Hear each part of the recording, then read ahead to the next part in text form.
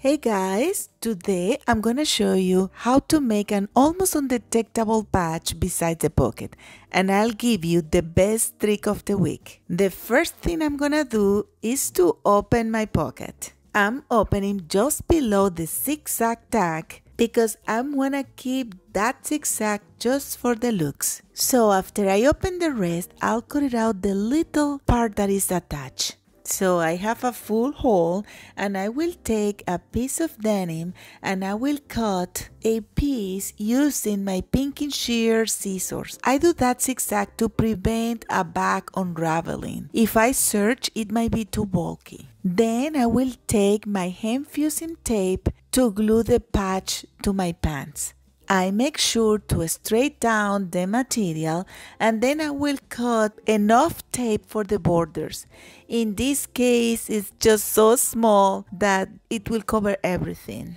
But just the borders are enough. I'm ironing and it just all glue. Look at the other side. Then I go to my thread wall to find a good matching thread. The best way to know which one is the best is to put it on top of your pants. It's a hard decision, but I think the second one is the best. Anyways, to maximize the thread color, I'm gonna use another second color on the jeans, the dark ones, and I will put it on my bobbin. And then I will loosen up the tension.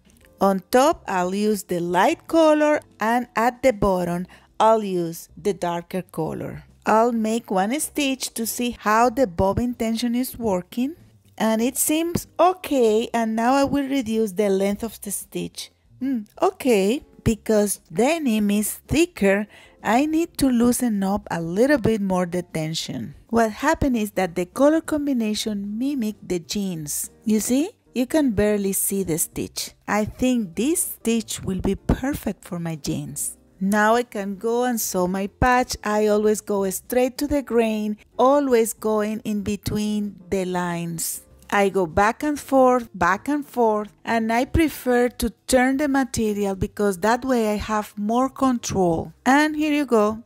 This is my patch. What I have to do now is to choose the right thread and sew back the pocket. I'll adjust the right tension too so the stitches look alike and then I will sew exactly on top of the old stitches. I try of course to make sure to cover the old patch situation and here you go where it was a hole before now is all restored. You can take a look inside and look outside. Guys, if you find this video useful, please give us a like. Don't forget to subscribe share, comment, and hit the notification bell. Bye!